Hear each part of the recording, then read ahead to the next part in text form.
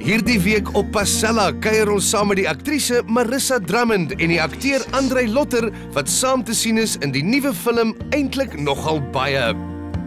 Ses Springbok legendes stof hulle skopskoene af en kyk terug na hulle dae in die groen en goud.